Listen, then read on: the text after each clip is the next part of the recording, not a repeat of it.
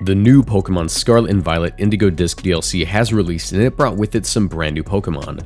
These include the likes of 4 new Paradox forms, 2 new Dragon types, and the third legendary Pokemon Terapagos. All of these Pokemon have brand new signature moves including Mighty Cleave, which is a 100% accurate rock move that hits through Protect, and Burning Bulwark, a protecting move that will burn any Pokemon who uses a contact move into it. All of these Pokemon can expect to have some kind of niche, but just how will they affect the competitive metagame? Today, let's discuss how strong we can expect these Pokemon to be. I wish I could have gotten this video out to you guys sooner, but this weekend I was actually traveling to San Antonio Regionals to compete, and with so many tournaments happening year round, I find myself traveling all the time and having to write videos like this one from my hotel room or a local coffee shop. You never know just how insecure your data is on these public networks until something goes wrong. Luckily, today's sponsor has my back. Surfshark VPN is a service that allows for me to use a virtual private network to keep my data secure no matter where I'm working from. A VPN encrypts your data to keep your personal information secret and out of the hands of hackers. But I don't just use them for privacy, there's actually some pretty cool use cases beyond that. VPNs can change your device's location to allow you unrestricted access to the internet no matter where you are. For example, if I wanted to stream something on Netflix but it's unavailable in my region, I can just swap regions with Surfshark and watch it as though I was in a region where it's available to stream. The holidays are here, so why not give yourself the gift of secure web browsing? Surfshark is offering viewers of my channel an exclusive holiday deal. Click the link in the description to try Surfshark for free for 30 days. And when you use my promo code MoxieBoosted, you can get up to an additional 6 months for free. So what are you waiting for? Click that link in the description and secure your data today. Alright, so it is time for me to give my thoughts on all these new Pokemon. Uh, apologies if I sound a little bit different. You know, I just woke up, getting I'm a little tired, you know, my voice is a little off. Uh, but yeah, so in the DLC, the uh, Indigo Disc DLC, there aren't that many new Pokemon, but I will say, as a VGC player, this, like, a, these additional one, two, three, four, five, six, and you know seventh uh, Terapagos isn't going to be legal for a little bit. Uh, those six Pokemon are actually going to change the format enough where I'm I'm happy. I mean, Regulation E effectively only added Ogerpon and Okidogi to the game. Uh, and also Okidogi. Okidogi. I feel like I just said the straight up, you know, actual word for a minute there. Um, it added them and Ursaluna Blood Moon and Sinistcha to the game, but none of them were so strong as to not dethrone the current number one archetype, which is uh, basically just like hyper offense with Tornadus Urshifu. These guys, I won't say they'll dethrone it, but it gives me hope for like the format being different enough. Anyways, I'll talk about my thoughts on each one of these Pokemon, how strong I think they're going to be, uh, and of course these guys will all get full moveset guides in the future. I've already done Archaludon, uh, my next moves again will probably be uh, Raging Bolt, and then we'll like do Hydrapple in a couple of days. But uh, yeah, so let's begin with Hydrapple. This is the Dipplin evolution. Now, a while back, uh, we had some people in the community realize that Dipplin could hold the Eviolite, meaning it got a 50% defense boost, but that didn't mean it was good. It was still like super, super bad. Um, it had Super Sweet Syrup, which would lower the opponent's evasiveness once per battle, which is really lame. Uh, and it had this move called Super Sweet Syrup, or not Super Sweet Syrup. Uh, it was called, oh my god, I can't even remember what it was called. It was that move that lowers your speed every single turn by like two stages. I don't know. It wasn't very good. It was pretty niche. Uh, but yeah, I remember now. It was called Syrup Bomb. Or, yeah, Syrup Bomb. So yeah, it would lower the target speed by one stage every turn. It was, it was, you know, it was a very niche Pokemon. It wasn't very good. Uh, Leonard Kraft did some, you know, digging. He found out, yes, this thing is probably going to evolve, and we were right. So, this is the evolution we were waiting for. If we could just compare the stats, let me go ahead and just throw Dipplin here, actually, to put them side by side. We compare the stats, um, you know, from 80 HP to 106, from 110 defense, stays the same, 95 split attack, goes up to 120, uh, and it gets a little bit faster. Honestly, it's just a straight up stat buff uh, in all the places it needed it. I would have liked to see a little bit more uh, defense rather than just HP, uh, but we'll take what we can get. Uh, basically, this guy just is much more offensively capable of like doing stuff. Uh, Dipplin's Draco Meteor bounced off of things. It almost felt like you were using a mixed attacker Draco Meteor. Like it felt as, about as strong as like a Garchomp Draco. Uh, when it's a, it's supposed to be a special attacker, so like this was just super disappointing. However, this guy, he's got some sauce. He's got some sauce. Not only does it have super sweet syrup, that very interesting signature move, but it also has access to Regenerator, which is honestly just so good. Uh, we have a ton of really good Regenerator Pokemon, uh, you know, like Amoonguss and uh, like Amoonguss, um, and also Amoonguss. But Hydrapple, being able to have Regenerator rather than this other ability is actually really nice. It means that there are a couple of sets that they can run. Like I said, I would have liked to have seen like an Assault Vest set, or I, I would have liked to see some more special defense on it. How uh, however, you know, an assault vest set will cover for that, and that will allow you to be like pretty bulky and recover off every time uh, you switch out. Uh, you'll you'll be able to like recover 30% of your health, uh, and it does allow you to just be an all-out attacker in that sense. So, like a very basic move set if you guys just want to get like simple with it. You can be like a super slow special attacker. Um, it doesn't matter that you're not slower than Amoonguss because you are a natural grass type, so uh, you're not going to worry about Spore or Rage Powder. That will allow you to be able to fire off like Draco Meteors. It'll allow you to fire off uh, Leaf Storm, which is pretty strong. Um, but it has this also like pretty interesting move, Fickle Beam. So, how do I explain this? Dragon Pulse, I believe, is a very bad move. It doesn't hit as hard as you want it to. It's only 85, uh, and it just feels like it bounces off of things. So you typically only run Dragon Pulse on like Assault Vest Pokemon with other options. Okay, good. This does get Earth Power. So like Draco Meteor, Leaf Storm, Earth Power, Dragon Pulse would be like a moveset I would suggest for this thing because you don't want to always be firing off Dracos and deal like, you know, a ton of damage and then have to switch out and stuff. But Fickle Beam allows you that middle ground option. This move is a little bit weaker than Dragon Pulse. However, 1 in 3 Fickle Beams a little under 1 in 3, it's 30%, has its power doubled. All like the heads come out and just straight up fire. I'll put some I'll put something on screen right now for you guys. They, they just come out and they like fire. It's so cool. Uh, which means it's a 160 base power move, meaning it is stronger than Draco Meteor by a whole 30 points. I mean, it's a nuke. It's a nuke. With an Assault Vest, you'll be able to on the field and be able to click it. As far as like Tera types go, it is a uh, grass and dragon type. It's weak to ice, uh, which means that probably like steel, you'll be able to get rid of that. Uh, you'll be able to get rid of the uh, fairy weakness as well as the ice weakness. Uh, you're not weak to fire because you're grass dragon, so uh, it's not likely they'll be firing a you know a fire move into you anyways. So that is pretty interesting. I don't know. As far as like partners for it, it definitely feels like it would have to go on hard trick room. I don't see it working in many other situations. You could do soft trick room, I guess, if you really wanted to try it out. Like, you know, Incineroar, Porygon 2, uh, Hydrapple, and then you can do like Torn, Urshifu, Flutter as like your last three. And that would be a pretty solid team. So yeah, uh, those are my thoughts on Hydrapple. Uh, next up, we have Iron Boulder. Now, Iron Boulder is ridiculous, bro. This Pokemon can get kind of stupid with it. And it's mostly its signature move, Mighty Cleave.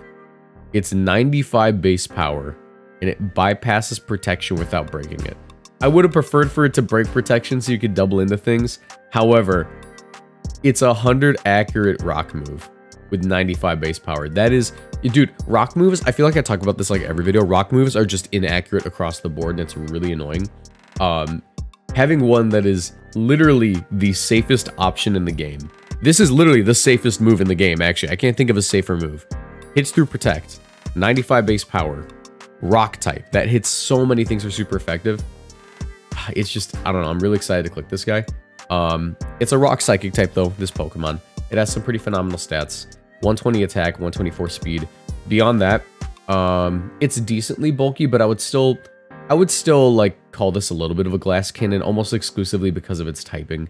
You know, 90, 80, 108 is actually really good bulk.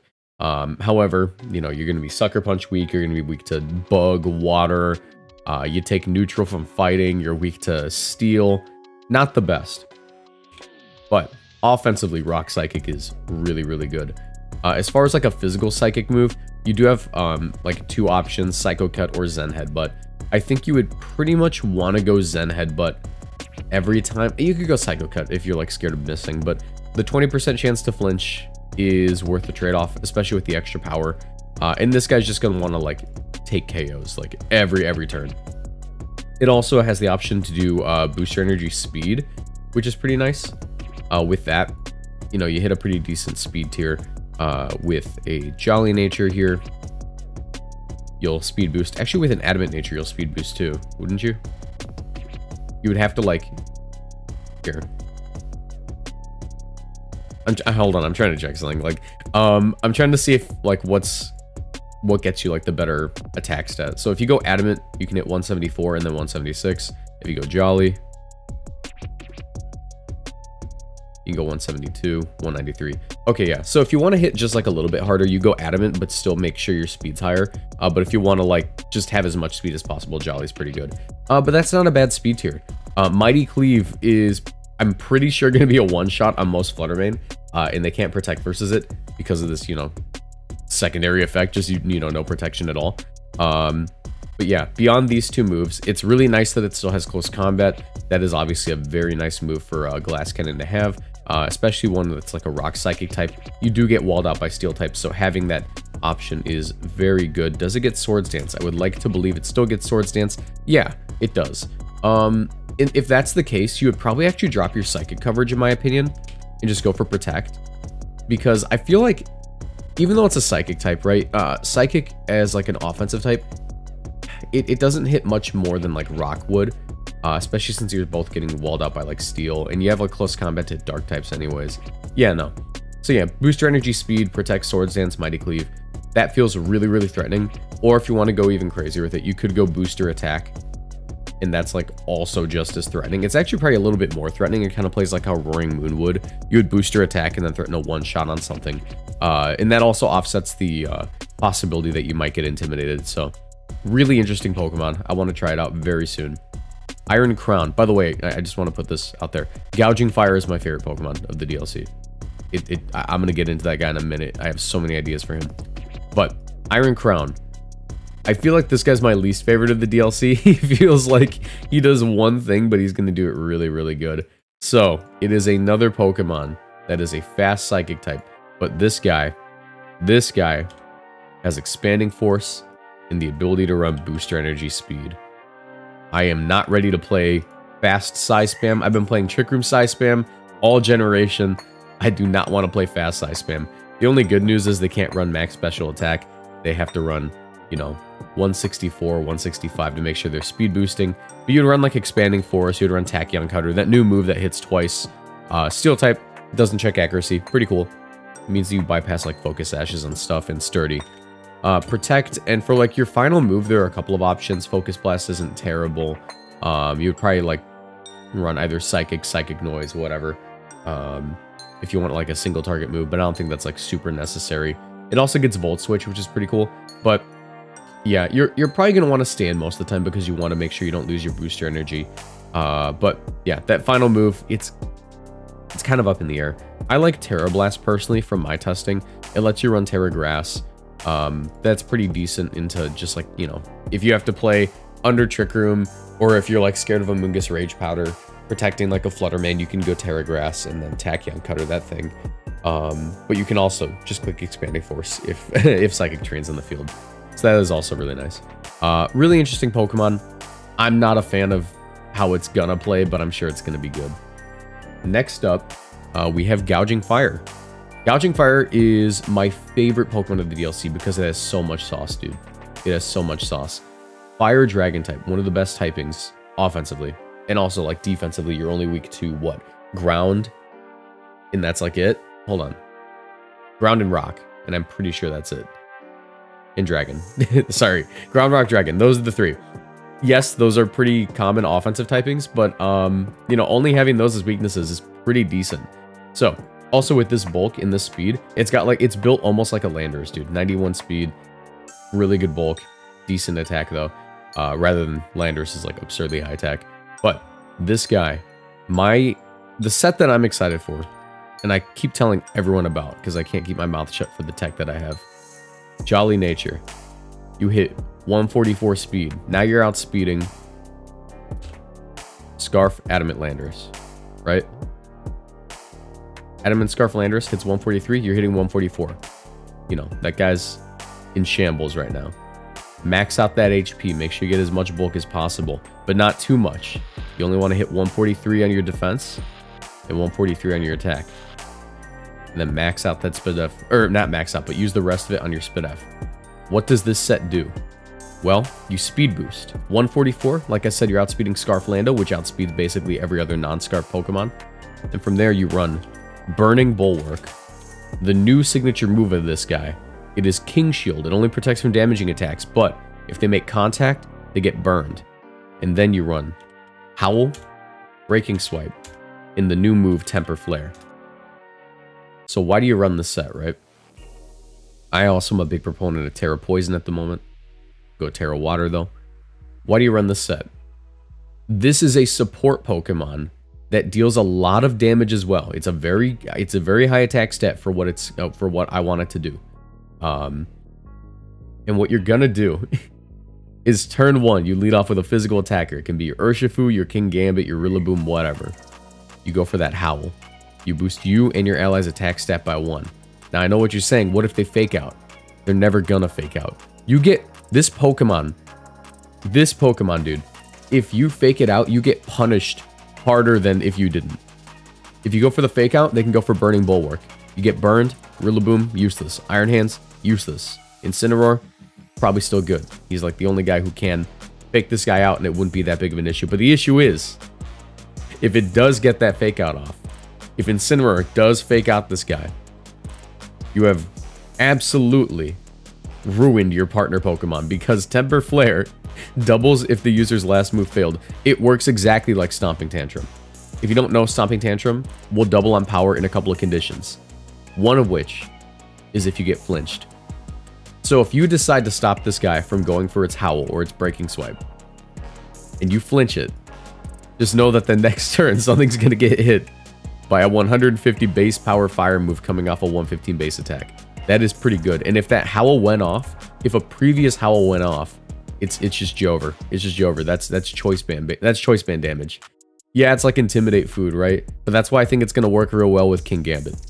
You know, you you go for your howl, you get both your guys' attack stats up. Real scary Pokemon. Real scary Pokemon. I'm real excited to use it. I don't know. Beyond that, though, there are a couple of other sets you can run. You can do booster attack, honestly, if you really wanted to. Make it like a, a real bulky guy. Let's see. You run that. I mean, yeah, you could just do like max HP, whatever.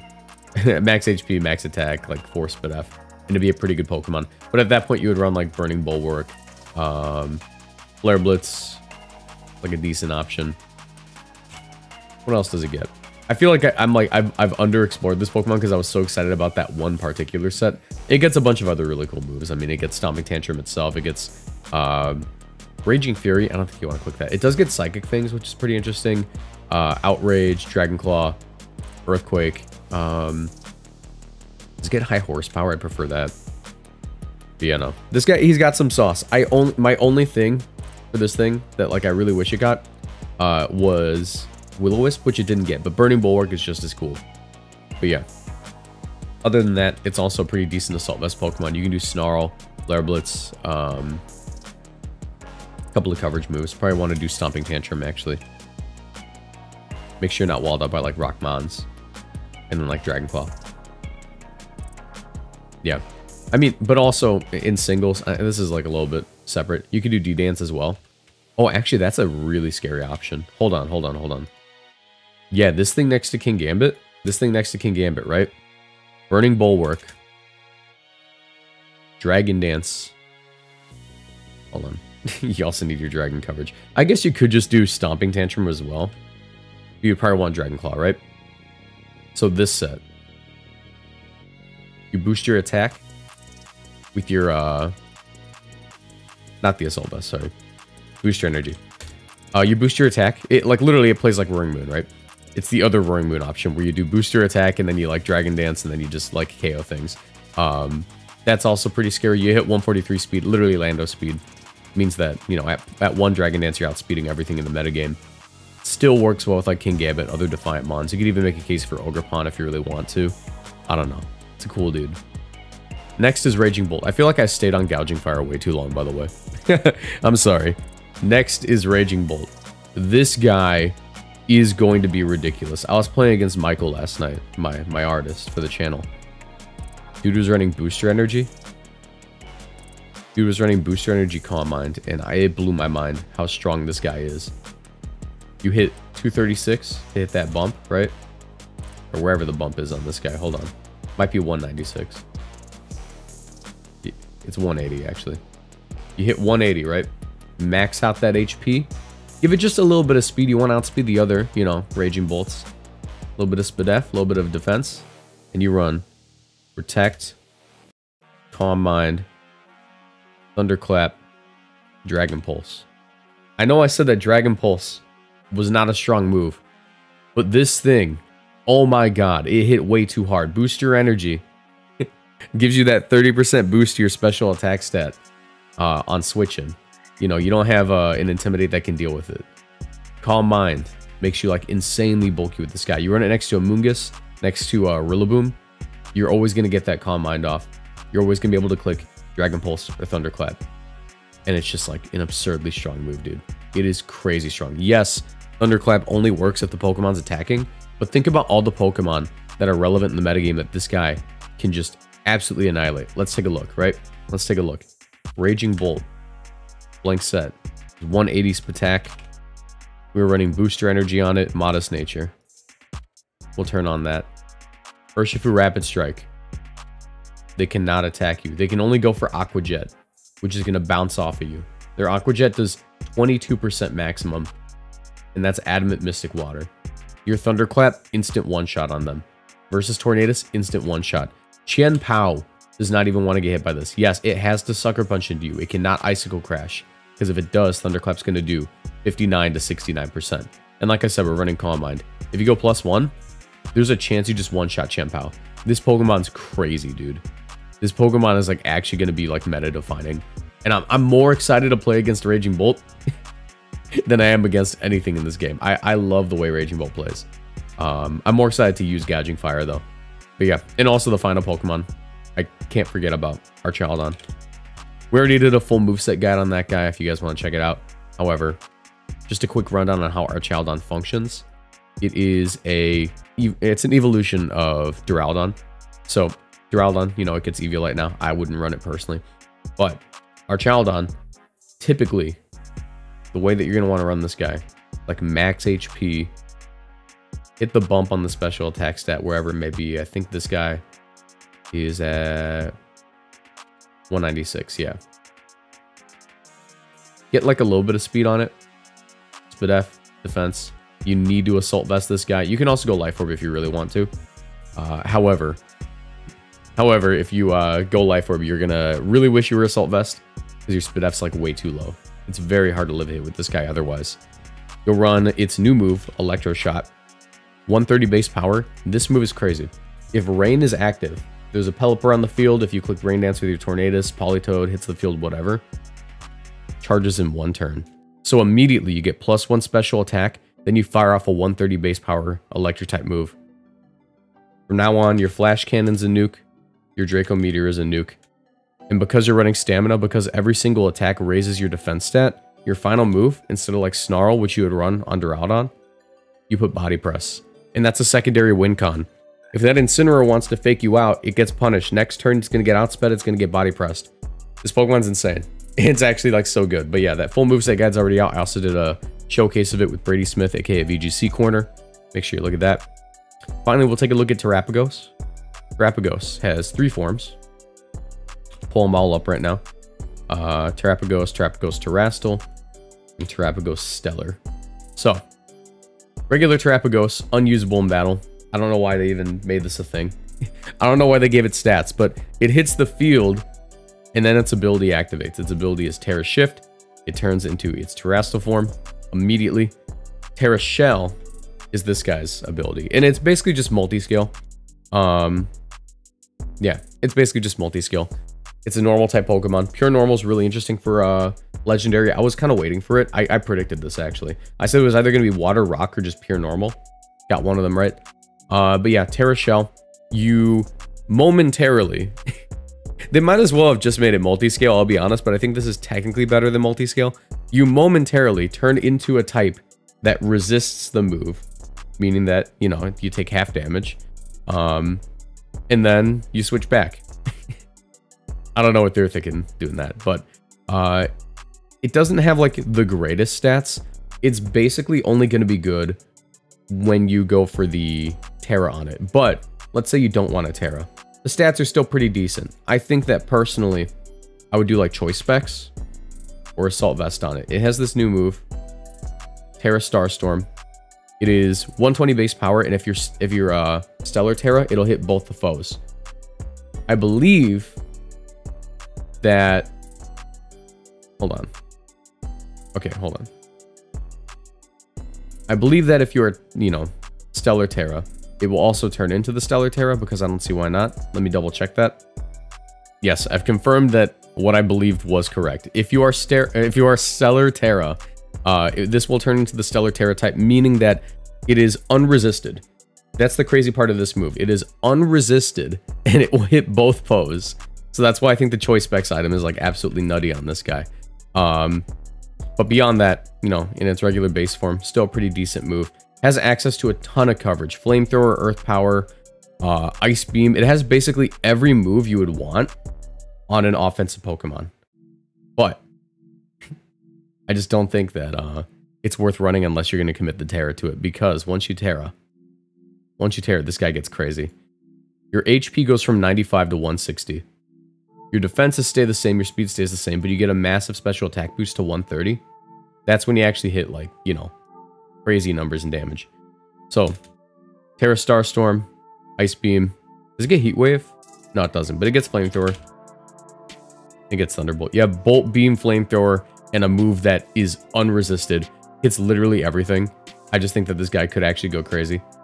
And yeah, um, I don't know really what to think about this guy until we get like restricteds. However, when we do get restricteds, its ability is going to be insane. So if this thing terastallizes, it instantly turns off all weather and terrain once per battle. So this is like a soft counter to Kyogre, uh, to Groudon, to whatever. And the reason that that's kind of huge is because uh, basically like rain teams, they tend to like really, really rely on how do I say it? Water spout from Kyogre is really strong, right? But it's not as strong as you think it is because once that rain is gone, it's not one-shotting things. You know, Groudon, once its sun is gone, it's not taking water moves like it's nothing because that, that sun basically makes it so it's a neutral hit. Uh, the terrain Pokemon, I don't think that's going to matter as much because we didn't get the Tapus in this DLC, but turning off Rillaboom's um, grassy terrain means that you can instantly block a Grassy Glide from being priority, protecting like a partner Pokemon. So I don't know what Pokemon would want to go next to this dude, but it'll probably be, you know, it'll probably do well. Uh, not really with Kyogre, now that I think about it, because Kyogre, like, you're going to ruin yourself. What restricteds would you use with this? I don't know, maybe Zacian? Zacian wouldn't be bad. Zacian wouldn't be bad at all, because uh, it hates facing, uh, you know, the other restricteds weather. Uh, beyond that, it's pretty interesting. Calyrex Shadow Rider. We finally have like a, a normal type that can actually like just deal with Calyrex Shadow Rider. It kind of walls it out a little bit. Maybe like if you're in like an Assault Vest set. Because you, you don't have to worry about um, Astral Barrage, the most broken move in the game. Um, I guess you would need to run... Does it get Snarl? That'd be really good. No, but it gets Dark Pulse. So actually, yeah, maybe like Assault Vest, Dark Pulse, Tera Starstorm. Um, and then just like coverage options for everything. Thunderbolt, Ice Beam. Actually, yeah, no, that goes, that goes crazy. It's almost like a like a giant Porygon 2. Yeah. Actually, wait, no, hold on. Let me let me see something. Hold on. Porygon 2. 105. 105. Hold up, hold up. 95, 85, 110, 90. Hold on, guys. This might just be a giant Porygon 2 doesn't have to run Eviolite, but you want to run Eviolite because this thing gets bulkier than it. I don't know. it's just it's just funny to me. But yeah, uh, those are my initial thoughts on all the new Pokemon in this first DLC. I don't know. A lot of them are just super strong. I just wanted to give some ideas as to how you could run them. Uh, I think the strongest is definitely going to be probably Raging Bolt. And then like the runner up to that might be like Iron Crown. And then and then Archaludon. But yeah. And then obviously like Terapagos is probably going to be the strongest of all of them. But that's only going to be legal in a couple of months. So yeah. Let me know what you guys think in the comment section down below. If you guys enjoyed, leave a like, subscribe, turn on notifications. I'll see you in the next one. Bye.